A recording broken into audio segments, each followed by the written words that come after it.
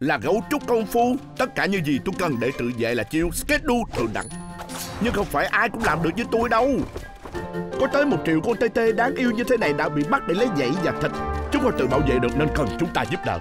Hãy nói với bạn bè người thân của bạn, Đừng bao giờ mua sản phẩm làm từ các bạn của tôi. Hãy luyện thuần thục chiêu này của công phu, gấu trúc hãy nói không đời nào! Bởi vì không có người mua, Không còn kẻ giết. Tất cả tùy thuộc vào chúng ta.